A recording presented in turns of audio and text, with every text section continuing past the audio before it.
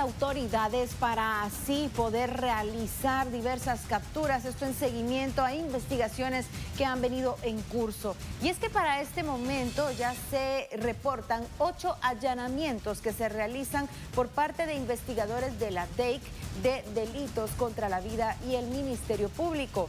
Los mismos tienen lugar en la zona 5, 17 y 18 todos ellos en busca de indicios que puedan fortalecer las investigaciones que ya han venido en curso en contra de presuntos extorsionistas y mareros.